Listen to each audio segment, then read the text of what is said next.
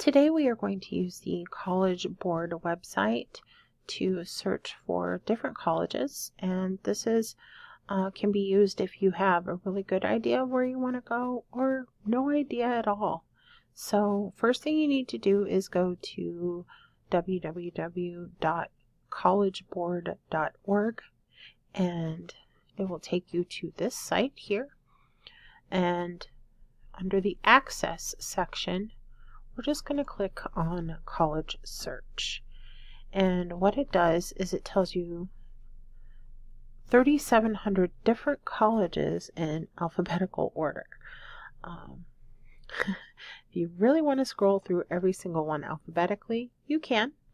Um, but if you really want to narrow down your search, you can do this over here on the left hand side. And um, we're gonna we're gonna do that. Uh, you'll also notice if you look at some of these, there's a little star here that lets you know there are college application fee waivers available. Uh, if you are interested in using these different college application fee waivers, see your counselor and they can walk you through the process of getting these different fee waivers. But be careful because you are limited to the amount that you can use. So make sure you're really using it on schools with application fees that are out of your reach uh, price wise because they do range anywhere from 10 15 dollars all the way on up to a hundred even sometimes a hundred and fifty dollars okay so let's say that um, the only thing I really know is I want to go to, a four-year school. And I want to go to a public school. And let's see. Um, I need it to cover 100% of my financial need. And I'm going to uncheck this thing that says about colleges not reporting it because um, I need them to report it. All right, so there are six colleges that um, that qualify here. So Let's see. Um, I've heard of a few of these. Um, okay, University of North Carolina at Chapel Hill. I've definitely heard of that one. So let me click on that. And this gives me a breakdown of UNC, University of North Carolina. So it tells you that it's a large four-year school, co-ed, small city, suburban, um, bachelor's, master's, and doctoral. I have to apply by January 15th. Um, tells me about almost 19,000 undergraduates with a little over 4,300 freshmen. 91% of people graduate within the six year time frame, which is wonderful. And 17,735 financial aid, which is 100% of financial need met on average. Great. So you can scroll down even further and look at maps of where it's located, but I'm really interested in this info over here on the left. So let me look at other deadlines. Okay, so I knew January 15th was my application deadline. Okay, priority application, October 15th. Okay, so if you rest your mouse on the little question mark over here, it tells you what that means. So colleges give the strongest possible consideration to applications received by this deadline. So if you really, really know that you want to go there and you really want to be in the top group considered, make sure you apply by October 15th. Okay, housing deposits must reply to acceptance. Okay. Early decision, October 15th, and I will find out by the end of January. Okay, that's good to know. Um, no test due dates. Financial aid priority deadline, March 1st. So, what does that mean? Again, you'll have the strongest consideration for any type of needs-based financial aid if you have everything turned in by March 1st. Mean everything meaning your FAFSA. Okay, we're not an international student, so we don't need to worry about that. And we are not a transfer student, so we don't need to worry about that. Okay, now it does break down information. If you didn't want to scroll, you could go to, okay, click on financial aid and it takes you straight down to that section majors and learning environments. So this tells me that there's a 13 to 1 student faculty ratio, which is pretty small class sizes.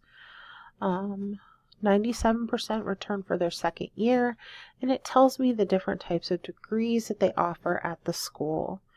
And if I look under most popular majors, breaks them down here, but this by no means are all of the majors. If I go to all majors, it shows me all the different majors that are offered at the school and what degree level they're offered at. Okay. And if I'm scrolling through here and I see something that I think, hmm, um, okay, art history, criticism, and conservation. Let me click on that and find out what that's about. This gives you a breakdown of the major, what types of things that you can do with the major, um, typical courses you would take within your major. Here's the type of jobs that you can have and other majors that are related to it. So it's nice that it opens it up in a separate tab and you can just close it when you are done. Okay, so I want to go back up to the top here. All right. Study options and services. Okay. Honors College, that's nice. Study abroad. Different ROTCs. Distance learning. Okay, I'm not going to worry about where graduates go. Oh, this one actually has it. A lot of schools do not have it, so I will give that as a heads up. So within one year of receiving their bachelor's degree, 2% go into law, business, medical, and other. So that's good to know. Okay, campus life. This is going to give you a breakdown of the dynamics of the school. So the average age of a student is 20. Um, this gives you the demographics of the ethnicity, race, gender, and in-state versus out-of-state. Housing, this will give you information about the dorms. So notice down here, no pets, no cars. it tells you how much your housing deposit is. Oops, when it's due. And Looks like 100% of first year colleges have to live on campus. All right, activities. These are different activities that are offered at the school. Okay, Greek life, sports, their NCAA Tar Heels, and these are the different levels that you can compete in sports. So they're Division 1 and 1A. If you want to see the types of sports they offer, here is the breakdown. okay, and it does tell you some other things that they offer, probably more at the club level. Okay, additional programs. These are things such as counseling, wellness, academic support, disability support that are offered at the school. Applying this is one of the big application fees I was talking about, $80, okay? So, um, $80 is a good chunk of change, so you might want to go to your counselor to see about the fee waiver information. Um, you will also notice down here that 24% of the applicants are accepted, so it's a very selective school. Uh, what's important gives you that information right here. So this is the most importance to the least importance, although this is not the least important overall. It's just out of the important things. That's the least important. Um, application requirements. So you do have to take one of your standardized tests and um, they consider your subject tests and your SAT. Right. And GPA requirements. Okay, all of these really dark gray squares. These are your required high school classes. Notice two years of foreign language. Most out of state schools do require two years of foreign language. Okay. And some of them will also consider, or you will need academic electives as well as visual and performing arts, just a heads up. Okay, does not talk about the class rank, but it does show that a huge majority have a 3.75 GPA or higher. They do not take anyone less than a 3.0. All right. Okay, SAT versus ACT. So this gives you the average score that people have And here's the ACT score. All right. So even though 55% are between 30 and 36, it looks like their average score is actually a 27 to 32. Okay. AP, this tells you the AP classes that they take and your test score requirements and what the equivalent is. And CLEP, if you took any of the CLEP. Okay, paying. This is the other big one. Obviously, we will need to look at out-of-state costs. This gives you the breakdown of all these different areas. So $51,000 roughly. all right. Um, tells you how to apply for financial aid.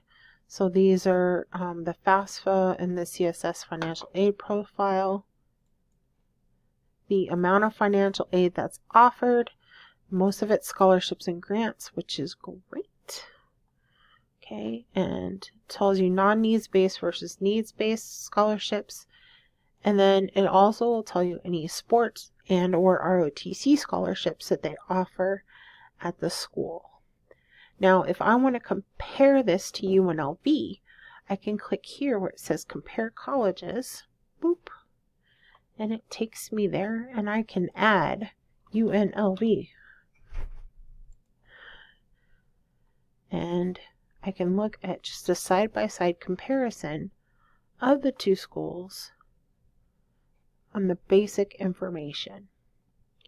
You can add other schools that you might be interested in as well. So let's say Harvard, because you know Harvard can also cover 100% of your tuition if you meet the requirements. And you can really see the price difference between these three schools and your test scores and the class the size of the um, enrollment so if you have any questions about any of this you can see your upward bound counselor and they can walk you through. But remember, this is a great way to look for your UB3 schools and find out all the information that you need to know. Whenever a counselor comes up and asks you UB3, you can just shout out the information and know it by heart. Thanks for listening. Bye.